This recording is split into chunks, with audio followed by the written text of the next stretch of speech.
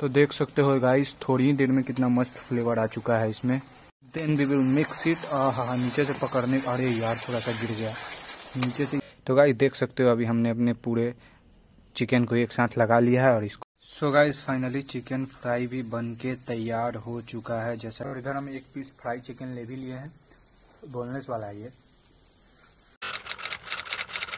तो है गाइस एक और नई वीडियो में आप सभी का स्वागत है। तो आज का जो वीडियो वाला होने वाला है, वो एक रेसिपी वीडियो होने वाला है। जैसा कि मैंने आप लोगों को बताया था, हमारा एग्ज़ाम ख़त्म होते ही कि हम ट्राई करेंगे हांडी चिकन और बाम्बू चिकन ये सब। तो आज तो मैंने जुगाड़ किया बट हांडी तो मिल नहीं पाया। हांडी मुझे सराय से जाके लेना होगा। इधर, मेरे इधर हांडी मिलता है बट उसका जो नीचे का थिकनेस होता है ना हांडी का, वो बहुत पतला होता है। तो टेम्परेचर जब हाई टेम्परेचर पर उबलेगा खाना उसमें तो वो फट जाएगा। मतलब नीचे से टूट जाएगा। इसीलिए नहीं।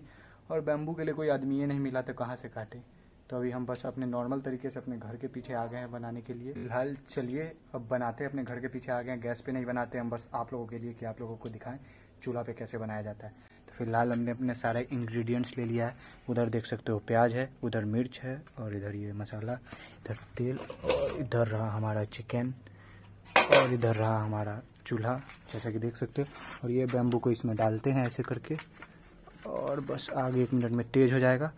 और इसमें ऐड करते हैं अपना थोड़ा सा सरसों का रिफाइंड ऑयल जो कि खेत में का ही तेल होता है। वो गाइस अभी ये उड़ेगा। इसमें क्योंकि पानी था और मैंने रख दिया था इसको। पानी में रखने की वजह से क्या हो रहा है? पूरा थोड़ा सा पानी रखा हुआ था ना तेल में।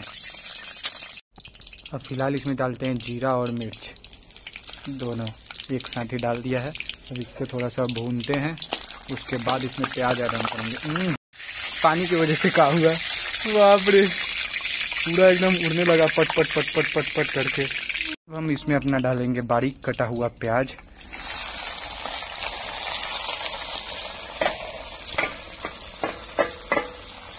प्याज के डालने के बाद इसको फिर से मिक्स करेंगे अच्छे तरीके से। प्याज मुझे कम लग रहा है, एक दो प्याज और लगेगा इसमें। लेके आता हूँ एक प्याज और। फ़िलहाल मैंने दो प्याज और ऊपर से डाल दिया इसमें, अब इसको भी मिक्स कर देता हूँ अच्छे तरीके से। गाइस मैं चूल्हे पे क्यों बनाता हूँ? बस आप लोगों के लिए। मेरी मम्मी बोली कि गैस पे बना लो किचन में। बट मैंने कहा, ना ना ना, मैं तो बनाऊँगा चूल्हे पे ही। चूल्हे पे बनाऊँगा, तब तो आप लोगों को देखने में मज़ा आएगा। लेकिन आप लोग क्या करते हो? चैनल को सब्सक्राइब भी नहीं करते हो और वीडियो को लाइक भी नहीं करते हो। ऐसा क्यों करते हो? बस आपसे तो एक ही चीज़ मांगा है मैंने। इतना मेहनत करके हम बना रहे हैं। कल ही अपने चेहरे पे लगाए थे एलोवेरा जेल और साफ़ किया था और आज फिर से देखो चेहरा गंदा हो रहा है। इस धुएँ की वजह से। फ़िलहाल तो अभी फ्लेम देख रहे हो कितना तेज चल रहा है ना, ये लगभग लगभग मुझको लगता है 20 मिनट के अंदर चिकन पक के तैयार हो जाएगा पूरा। Time to add a chicken तो सबसे पहले हम अपने चिकन को उठाते हैं और इसमें ऐड करते हैं। एक बार हो गया एक दफ़ा और। एक मिनट भाई, रुको जरा। अकेले हूँ तो थोड़ा दिक्कत होता है। फिर से ऐड कर लिया, अब देख सकते हो। फ़िलहाल हम इसको अच्छे तरीके से मिक्स करेंगे। एकदम। साउंड देख लो ना अभी कितना मस्त आ रहा है और खुशबू मुश्किल से भी बीस मिनट हुआ होगा। तो देख सकते हो गाइस थोड़ी ही देर में कितना मस्त फ्लेवर आ चुका है इसमें। एक नंबर लग रहा है देखने में अब।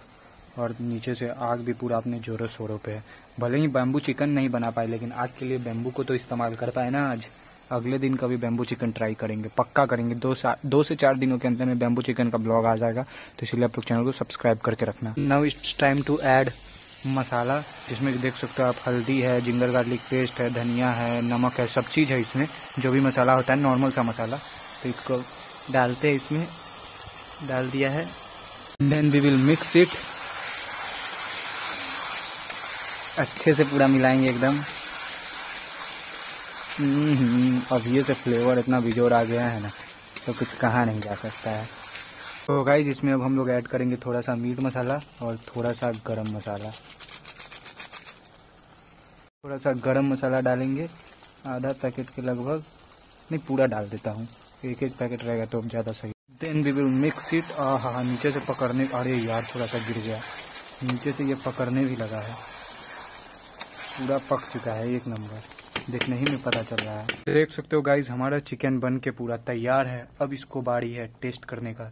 तो टेस्ट करेंगे हम तो आपको बताएँगे ज़रूर। और आप भी ऐसे बिहार स्टाइल में चिकन बना के एक बार चूल्हे पे ट्राई ज़रूर कीजिएगा, क्योंकि राख वाख जाएगा, तभी तो ऑर्गेनिक चिकन बनेगा और टेस्टी भी बनेगा। चलिए फ़िलहाल टेस्ट करते हैं इसको। तो वो चिकन तो बन के तैयार हो गया। अब हम अपने सीख में चिकन को लगाते हैं, जो भी चिकन को हमने थोड़ी देर पहले मैरिनेट किया था, उन सबको एक साथ इसमें रखते हैं और उसके बाद इसको चूल्हे पर डालेंगे।